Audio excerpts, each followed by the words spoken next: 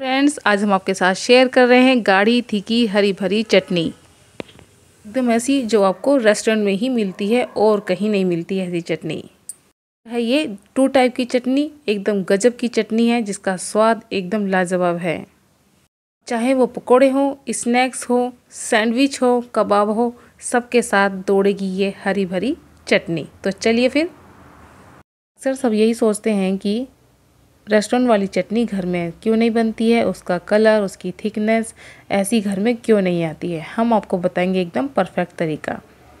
इसके लिए लिया है हमने ये चना। यही एक परफेक्ट तरीका है कि आप घर पर भी ऐसी चटनी बना सकते हैं।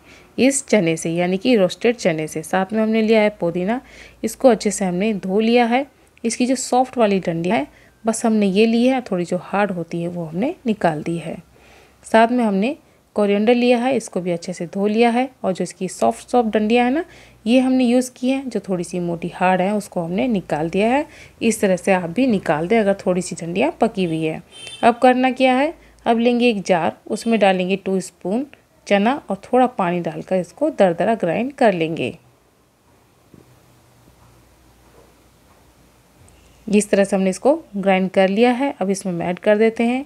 जिंजर गार्लिक ग्रीन चिली थोड़ा कम ज़्यादा आप अपने अकॉर्डिंग ऐड कर सकते हैं।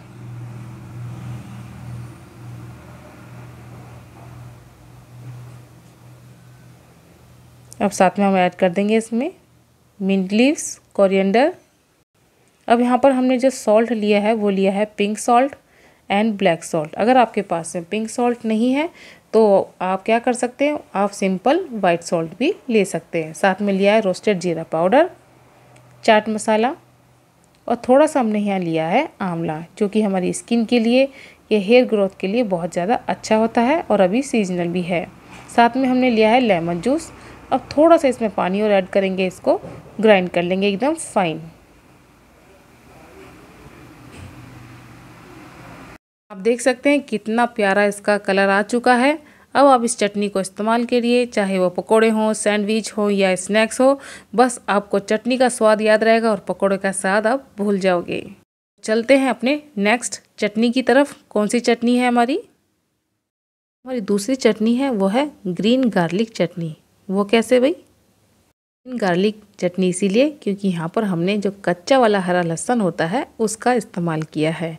अभी ये मौसम में है तो आप इसका इस्तेमाल ज़रूर करिए बहुत ही गज़ब की चटनी बनती है। चटनी को बनाने के लिए हमने एक गार्लिक का, यानी कि एक डंडी का इस्तेमाल किया है और साथ में लिए हरी मिर्च जिंजर साथ में यहाँ पर हमने डाला है धनिया। यहाँ पर हमने पुदीने का बिल्कुल भी इस्तेमाल नहीं किया है केवल हमारे ये हरी धनिया की चटनी है।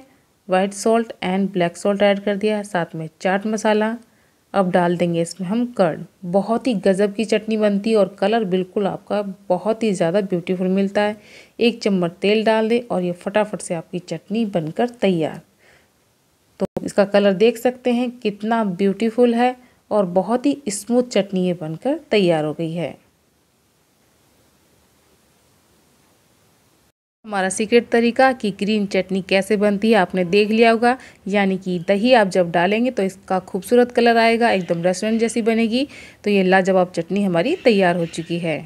तो फ्रेंड्स आप इस चटनी को बनाना बिल्कुल मत भूलिएगा। तो आपको फिर से मिलेंगे एक नेक्स्ट मज़ेदार रेसिपी में। तब तक के लिए दीजिए हमें इजाज़त। Bye bye